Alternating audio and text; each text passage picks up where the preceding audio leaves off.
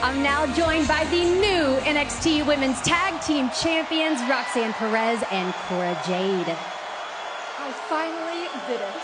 After so long of trying to become a champion in WWE, I finally did it, and I got to do it with my best friend. this is so surreal. I, I feel like everything's happening so fast.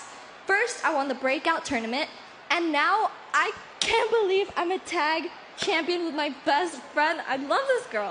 it felt so good to finally knock Toxic Attraction off their little pedestal.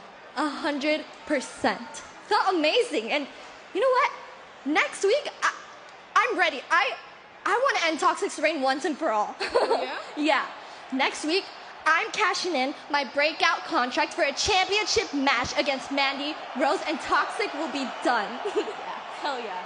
Let's do it. But first, we celebrate. Yeah, let's go. Let's go.